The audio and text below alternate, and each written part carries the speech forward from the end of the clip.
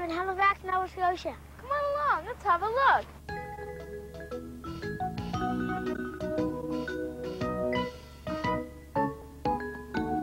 We've got a harbor and a port, two bridges and a boat. These are the facts on Halifax. We have buildings big and small, a police and fire hall. These are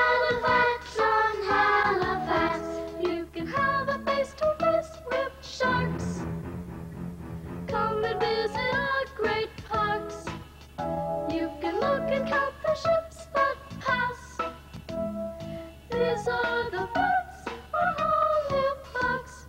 We have our navy here, down by the loading pier.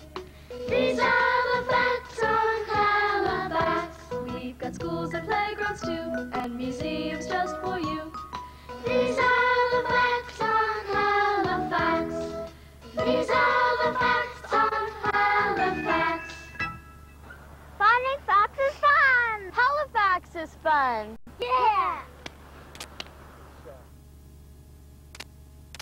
More than 8,000 schools across the country, students watched a rock video that dealt with war, valor, and peace. Rock star Bryan Adams wanted to give Canadian teenagers something to think about. The song is called Remembrance Day, and the, the video is six and a half minutes of driving rock using old films and photographs. You see, Adams said he wanted to remind young Canadians in a way that they would understand and appreciate. He dedicated the song, Remembrance Day, to those who we will be remembering tomorrow. And uh, we thought that you might enjoy watching just a portion of the video that was shown in our schools today. The music, of course, is for the youth. The pictures for those of you who were there. The message is for all of us.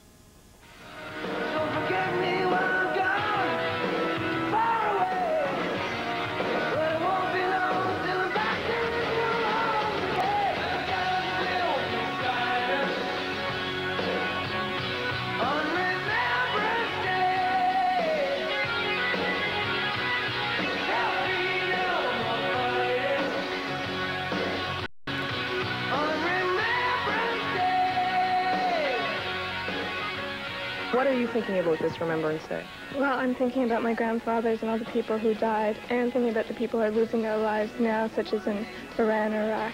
In a lot of films, they glamorize, you know, war and the hero and coming home and everything's fine. And they don't really, you know, show what really happens to the inside of the person, you know, how they're, how they might be, um, their soul, you know, tearing apart from all the horrors that they've seen.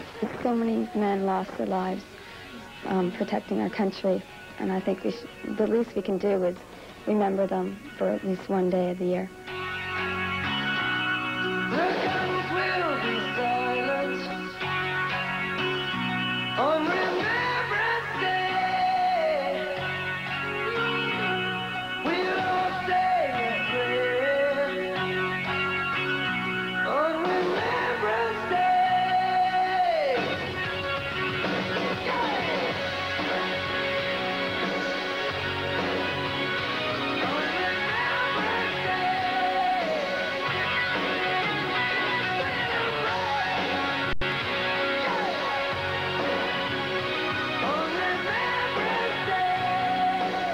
Public awareness is very important, or else it, it will be forgotten, and then we'll probably end up making the same mistakes again. They died for our country. They went and defended our country and other people. I don't think I'd have the courage to do that. A lot of people are talking about remembering the people that died, but we have to remember to the people who stayed at home and who, all they, like their lives didn't just continue on normally when their fathers or their husbands were off at war.